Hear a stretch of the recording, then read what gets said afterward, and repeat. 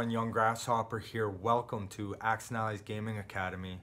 We're starting a new series right here, right now. It's called Advanced Training. And this is where we get into the Axis and Allies 1940 Global Experience. So Basic Training Anniversary Edition and Advanced Training Axis and Allies 1940 Global, also known as G40. So in order to follow along and play this game, you're gonna need two box games, two. So I'll show you right here the first one you need. That's Allies Europe 1940. The second box game you need, that's Axis and Allies Pacific 1940. Now, you can play these games separately on their own, which is a great idea, great fascinating concept by Avalon Hill and Larry Harris to provide these type of in-depth games without going into building the theater games that they did back in the 1990s where they brought out an entire game Pacific and an entire game Europe that were not compatible. This time around, uh, joining Wizards of the Coast back in 2010, I believe, uh, they decided that they were going to release them as separate games that could be played individually as theater games, but also brought together with the same board artwork and uh, the same concepts and rules basically to have one gigantic game, global game. Now, it comes with two of everything as you might uh, suspect, and we're going to get into that in the opening the box later video. Okay, so we're gonna run this series along the same pattern that we've been doing with basic training. So in basic training, we talked about things like the history of Axis and Allies. Um, we talked about, uh, I showed you opening the box.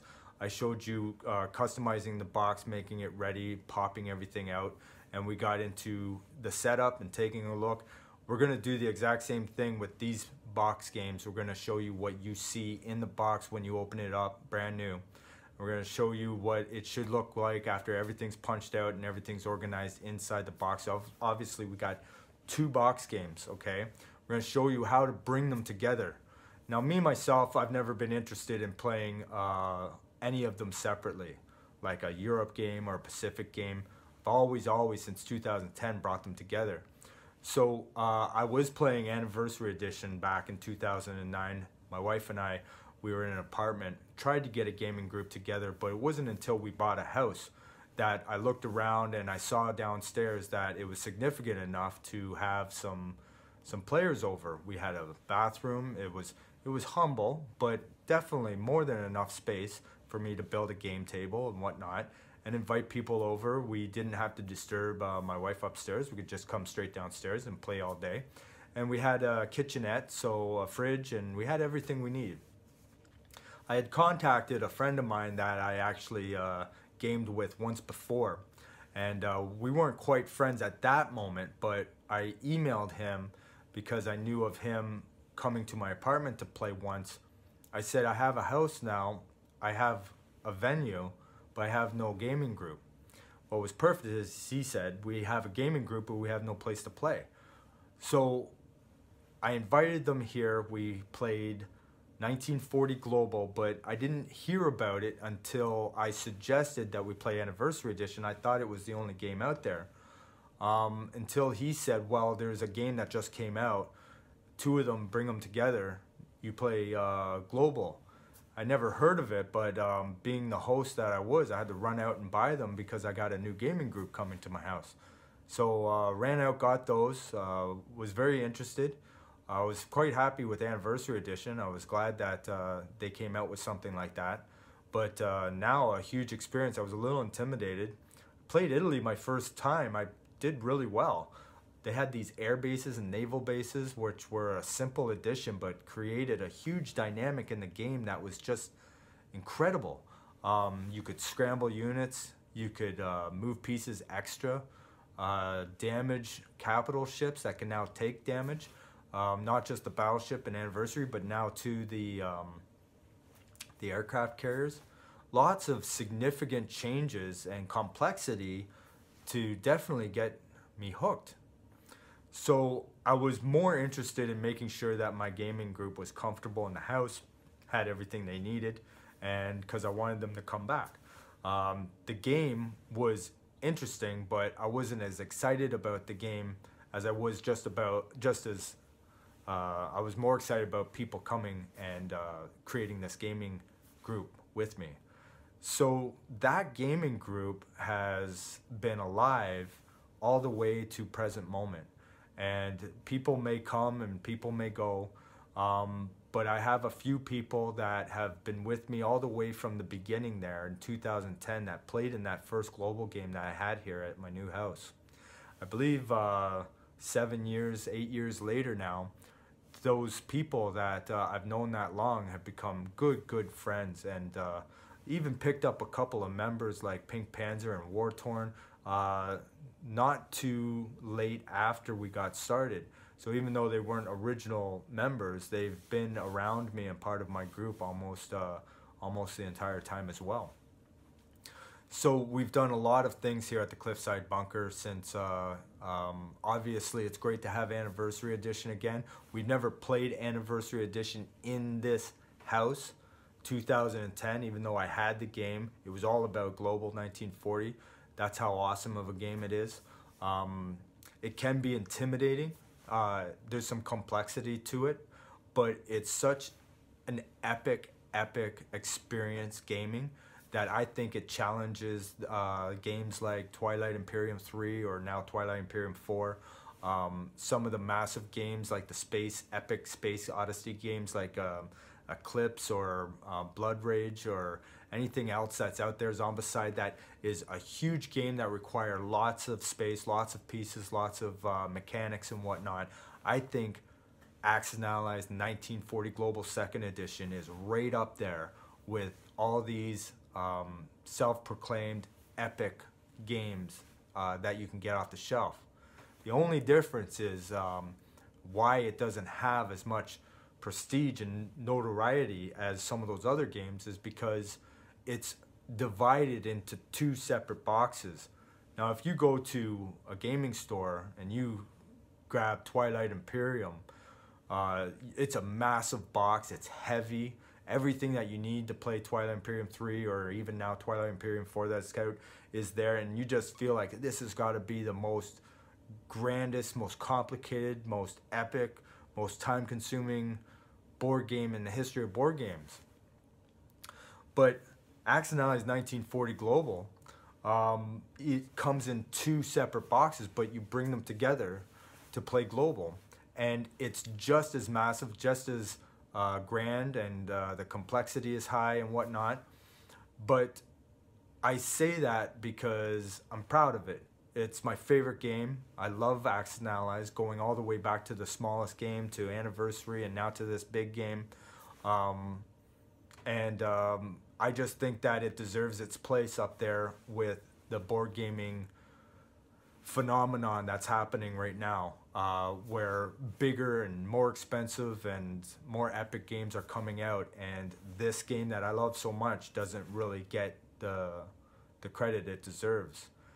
But that's fine. It can be a cult classic game that we enjoy in the basements, uh, knowing that you put these two again two games together, you get a massive World War II strategy board game. Um, we've been playing for years and years now, at least at least once a month, but mostly, mostly twice a month we have gaming gatherings here, all the way since 2010. That's the history of my experience with and Allies 1940 Global. And uh, I'm very, very happy and eager to share with you how to open this box, how to bring them together, how to customize the game, how to learn and play the game.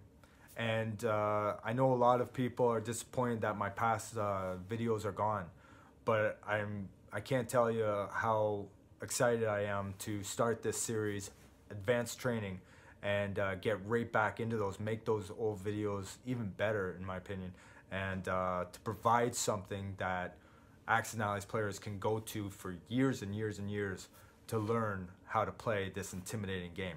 And uh, I would say don't be intimidated. Uh, we're going to go through it piece by piece, fraction by fraction, detail by detail. I really don't know how long the video series is going to last. This is part one. I really don't know how long basic training is going to last. We're into part six now. Um, but it's important for me, I think, to create these series that run parallel uh, to each other so I can sort of mimic the same type of style that you're to find in the training of one game in the video training videos of the other game. Um, so I'm very, very happy and excited to introduce this video series. And uh, the next one we're to get started right into the inbox, uh, right into the unboxing of these uh, new games. Okay, so um, we're to skip the whole in a nutshell because in a nutshell for this game, there's nothing out there because you can't do it. Um, it there's just too much going on to make a 10 minute, 15 minute video of in a nutshell for what's going on here. Um, but what I want to do, um, because I gave you a little bit of history of my experience with 1940 Global going all the way back to 2010 to present, um, I want to put in the description box of this video the same link to, to the video from Nerd Out With Me, the two guys uh, talking about their Axis Allies collection. I think it's essential, essential watching. Such a great, great video. I love it. I love it. Uh, it's amazing that we have a video like this of uh, those two fellas. Uh, the one, obviously, a huge Axis Allies fan, showing off his collection, um, talking about when these games came out, his experience when they came out. Um, he, his collection is amazing, amazing. And I'm to put in the description box of this video a link directing you to that video, which I did also in the history video and basic training. So, Axis Allies 1940 Global History, orientation, uh, wrapping this up. Uh, I'm to have a lot of fun. Uh, love it. So, get those games, okay? But get Anniversary Edition first.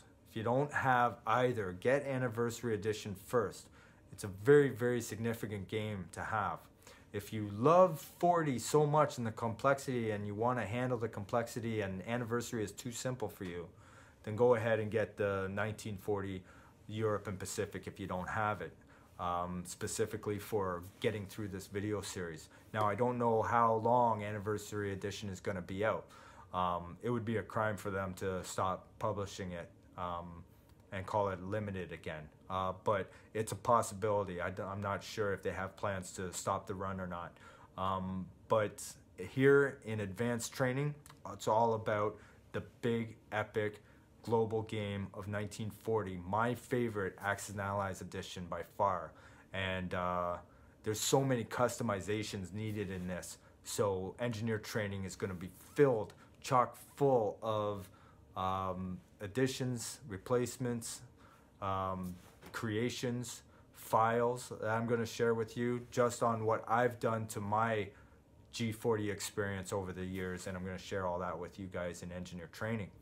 So uh, thanks a lot, guys. Appreciate it. And look out for the next one. We're going to do an unboxing. I don't know if I'm going to split it into uh, a single unboxing of Europe and then a different video, single unboxing of Pacific, or do it all in one video, but that's what's coming up next. And uh, awesome. Cheers. And thanks for the comments. Thanks for the likes and the shares.